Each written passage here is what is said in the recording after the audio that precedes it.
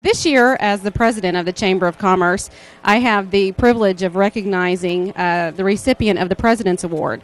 That award is given to someone uh, who has made a positive impact on the Chamber of Commerce, its members, and our community. And to be honest, I didn't even have to think about who that award was going to go to this year. um, you know, the one person who has made a huge impact on the Lebanon community this year is Charlie Brown. Uh, the Brown family and Charlie and Missouri Eagle continually give back to the community and play a large role in our community and, and as well as our Chamber of Commerce. Um, Charlie was also a huge supporter of our town, your town, this year, and, and is committed to be part of that next year. Um, and you know, he's a man who sees a need in the community and he finds a way to get it done.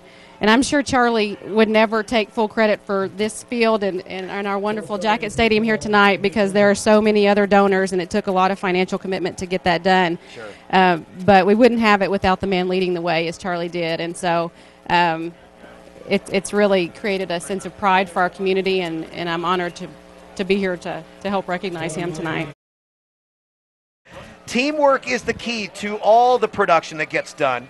And we do have a wonderful team of people that have actually uh, helped us out here. And we spoke of some of these people earlier Central Bank, Jeff and Janet Carr, Tracker Marine Group, Mercy Hospital, Emerson Climate Technologies, the Boswell family, the Brown family, Barbara, Ed, and Brad, Earhart Properties, the Lebanon R3 All Sports Booster Club, uh, United Insurers, Lebanon R3 Band and Booster Club, JC and Judy Benage, and of course the marching band, unquestionably the most prolific in entertainment out here for the whole city of Lebanon. So, uh, of course, you know, to every business owner, the city officials, the teachers, the coaches, announcers, cameramen, cheerleaders, volunteers, and all the supporters and fans.